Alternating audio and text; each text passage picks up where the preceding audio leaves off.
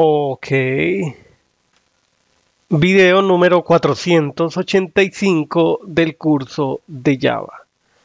En el video anterior aprendimos a incluir en un reporte una consulta que trae datos desde una tabla, desde una base de datos y podemos, pudimos previsualizar el conjunto de columnas que retorna una consulta. Este conjunto de campos aparece siempre que damos clic en el botón Read Fields, dependiendo de la consulta que esté aquí escrita. Esto no se le puede aumentar el tamaño de texto, no, pero sí podemos ampliar el tamaño del editor. Seguramente desde alguna configuración de la herramienta es posible ampliar el tamaño de la fuente. Ok. Em, vamos a ver, vamos a ver si eso es posible. Preferences. Eh, aquí en General, en alguna parte, Editors. This is size of recently open files. No, necesitamos es el text editor. Ok, voy a buscar aquí em, cómo se llama esta área. Em, el Query Dialog. Desde preferencias buscamos Query. Sé que el Query Editor. Ok, por aquí se podría cambiar el tamaño. Aumentemos esto a 20. Bueno, eh, dejémoslo en 17 para que no quede tan grande. Aplicar. Nada. Otra vez window preferences. Expression editor. Sé que el editor no se ve fonts. Mm, java editor. Mm, de alguna manera se puede hacer ese cambio. Luego lo averiguaré. Ahí lo intentamos en, un, en una primera prueba entonces, bueno, aquí podemos cambiar el, zoom de la vista diseño. Voy aumentarla, digamos, a 125. Ok, nosotros podemos diseñar el conjunto de columnas para el encabezado. Podríamos decirlo de esa manera. Sí, el encabezado es un conjunto de columnas y en las columnas tendremos, a ver, nos vamos aquí a Basic Elements. Previo a ello dibujamos un rectángulo, puede ser aquí. Ok, le reducimos el tamaño. Así está bien. Esto lo podemos desplazar. Y ahí dentro del rectángulo colocar un texto. Y ese texto lo tomamos desde static text. Indiquemos aquí documento como contenido a ver. No se puede escribir directamente esto lo podemos minimizar será esto a ver. En donde se especifica el, en static text entonces seleccionemos la etiqueta vacía static text. Em, y aquí colocamos eh, documento. Y el color de la fuente ahora mismo es blanco. Entonces podríamos dejarlo eh, a ver color ya sé qué ocurre. El rectángulo parece estar debajo eh, encima. Entonces le vamos a decir order. Le decimos que se vaya atrás. Y la etiqueta que quede enfrente order no aparece send to front algo parecido. Nosotros sabemos que esa etiqueta tiene un texto porque aquí en static text, a ver, ya está documento, pero no se está visualizando. Deshabilitemos transparent. Coloquemos cualquier color. Puede ser ese, pero no aparece back color. Coloquemos cualquiera. Ahora sí. Y si aquí dejamos blanco, ¿se alcanza a visualizar ese texto?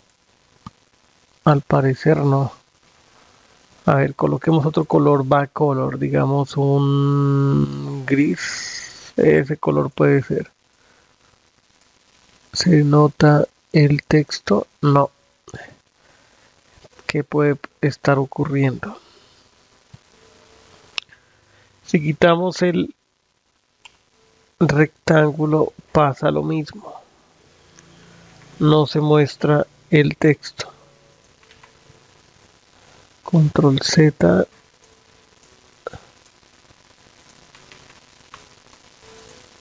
Ahí. Lavandería SAS. El contenido está en text. Y la apariencia es está habilitado transparent. Mm.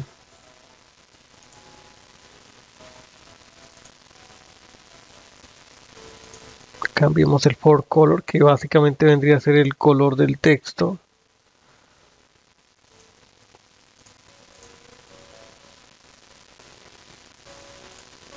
Nada que aparece. Static text. Aumentemos el tamaño nada nada que aparece ¿por qué no se visualiza? Voy a colocar esto aquí tampoco se muestra ¿qué pasará? en appearance ya si dejamos transparent habilitado queda así blanco y si acá le dijéramos que el transparente es blanco, tampoco. Hmm. ¿Qué pasará? Haré lo siguiente. Voy a quitar ese ese static text y le voy a hacer una copia a este a ver qué ocurre control C control V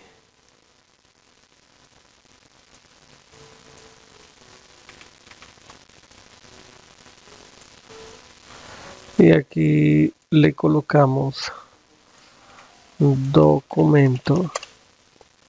En appearance le colocaremos que el color el color del texto sea negro. Y ahora el tamaño. Que el tamaño a ver 17 como queda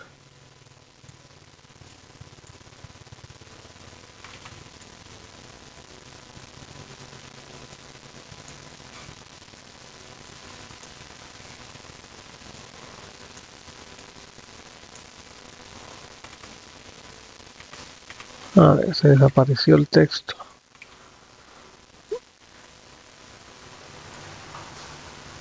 Está debajo, mientras que acá queda encima. Ok, démosle clic derecho, order. Mm. A ver, a este rectángulo, align container, eh, order, bring forward.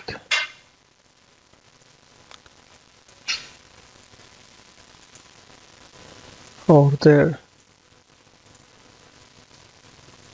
Vemos esto atrás. Seguramente eso es lo que no deja visualizar porque ahí es, tiene el texto como tal. Bueno, voy a quitar un momento el rectángulo. Ya, ya sé qué hacer para deshacernos de ese problema. Entonces, vamos a colocar aquí.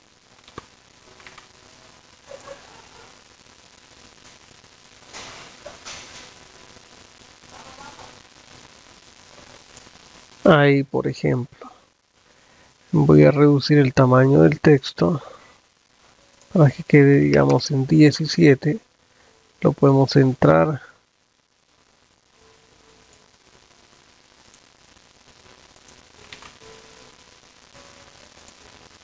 Se desapareció. Y quede ahí. Listo. Ok y debajo mostramos el documento. Ese ese campo donde está está en fields aquí está documento entonces lo arrastramos y lo soltamos ahí.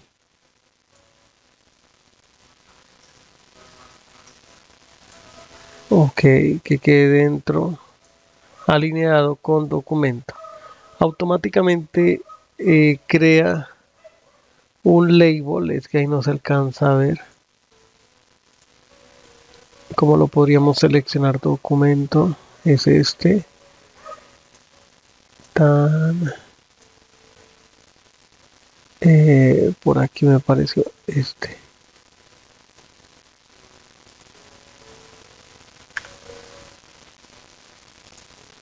Aquí está. Ahí tan. Lo podemos eh, centrar colocarle esta de en mayúscula ok. Y otra propiedad sería esta. No sé por qué no se puede ahora sí. Bien entonces guardamos esto y generamos una vista previa. Ahora sí aparecen todos los documentos.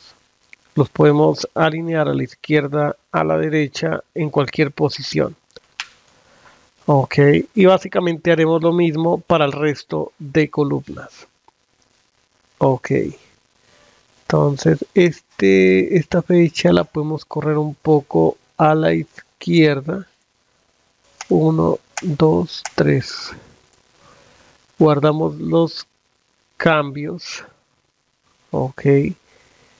Y a ver, copiamos este archivo lo colocamos en el repositorio y desde aquí desde github desktop indicamos ahora mostrar una columna con su respectivo dato control enter control p Sí, nos hemos demorado, demorado un poco, nos tardamos un poco en crear esa interfaz, pero bueno, ahí ya tenemos la idea, la idea inicial.